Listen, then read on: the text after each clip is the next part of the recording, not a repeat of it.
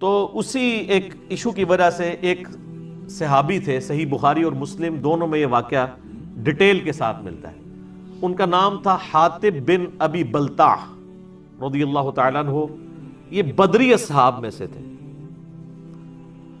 लेकिन ज़ाहिर है कि आपको पता है, इंसान तो इंसान है, इंसान के साथ लफ्स लगा हुआ है, इंसान, नफसानी ख्वाहिशात की वजह से, दुनियावी रिश्तों की वजह से मगलूब हो ही जाता है। तो बुखारी और मुस्लिम में एक वाक़ आया है जिसके कॉन्टेक्स्ट में ये आयात नाजिल हुई हैं। स्पेसिफिकली उसी सिहाबी से रिलेटेड है, जिन्होंने बुखारी और मुस्लिम में डिटेल्ड वाक़ आता है कि नबी सल्लल्लाहु अलैहि वसल्लम की, यानी उन्होंने मुखबरी कर दी थी।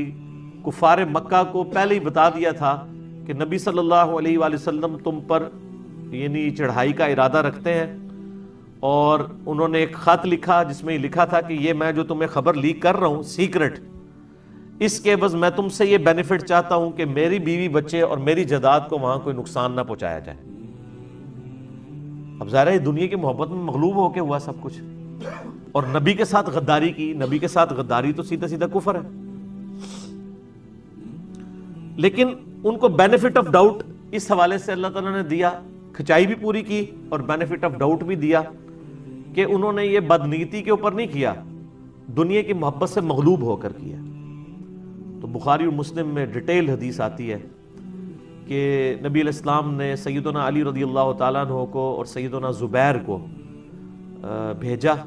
अल्लाह ताला ने वही के ज़रिए आपको बता दिया कि इस तरह आपके एक सिहाबी ने एक ख़त लिख कर एक औरत के हवाले किया है और वो औरत, वो ख़त लेकर मक्के के काफरों को आपकी मुखबरी करने जा रही है ताकि वो पहली जंग के लिए तैयार हो जाए।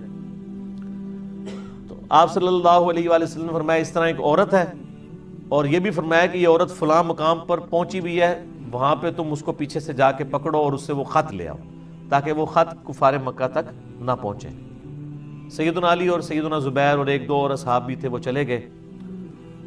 वहाँ पे जाके उसे पकड़ लिया, वो मुनकर हो गई, उसने कहा, जी, मेरे पास तो कोई ऐसा ख़त नहीं है। सईदन अली ने फरमाया कि, ना वो शख्स झूठा है जिसने मुझे भेजा है, यानी नबी सल्लल्लाहु अलैहि वसल्लम। और ना वो हस्ती झूठी है जिसने हमारे नबी को खबर दी है, यानी अल्लाह। तू खत निकाल दे, और अगर तू हमारे साथ कोऑपरेट नहीं करेगी, हमें तेरे कपड़े भी उतारने पड़े ना उस खत के हसूल के लिए तो हम लिहाज नहीं करेंगे। ज़ाहिर है कि वो तो मुसलमानों के कत्ल का फतवा जा रहा था ना। तो फिर उस औरत ने देखा कि ये अब नहीं टलेंगे तो उसने अपना जूड़ा खोला तो जूड़े के अंदर उसने खत वो छुपाया हुआ था। वो खत सईद अली ने लिया और वापस मदीना शरीफ आए नबी इस्लाम की मजलिस लगी हुई है और ला के ख़त रखा गया अब ख़त पता लग गया जी वो हातिब बिन अभी बलता ने लिखा है। तो आप समझ सकते हैं कि उस वक्त फिर वहाँ पे सब, बाकी साहब की क्या हालत हुई होगी। सैदना उमर रदी अल्लाह तसलाम ने तलवार निकाल ली। उन्होंने कहा यारसोल्ला इजाज़त दें इस मुनाफिक की गर्दन उतार दी जाए। अब ये सईदना उमर का यानी जो एटीट्यूड था, वो बिल्कुल ठीक था कि नबी के साथ गद्दारी करने वाला मुनाफिक ही हो सकता है। आप इस्लाम मैं उमर बैठ जाऊँ। क्या तुम्हें मालूम नहीं है कि अल्लाह ताला ने बदरी असहाब की अगली पिछली गलतियाँ माफ़ कर दी हैं? तो ये बदरी असहाब में से है, इसे छोड़ दो। बहरहाल, ये बहुत क्रिटिकल इशू है। इससे आपको ये भी पता चलेगा कि नबी इस्लाम दुनिया में मौजूद हों आपकी मौजूदगी में भी अगर कोई शख्स आप इस्लाम के साथ इस तरीके से, यानी वफादारी वाला मामला नहीं करता तो अल्लाह ताला उसका लिहाज कोई नहीं करता। और इतने सख्त अल्फाज हैं। तो हम जो लोग 1400 साल बाद आए हैं, हम अगर नबी इस्लाम के साथ वफादारी नहीं करेंगे तो हमारी तो कोई नस्बत भी नहीं है उस तरह की, कि हमें कोई सोबत मिली हो, या हमें कोई फ़जाइल बरक़ात हासिल हो, जो सहाबा कराम अली रिदवान को हासिल थे।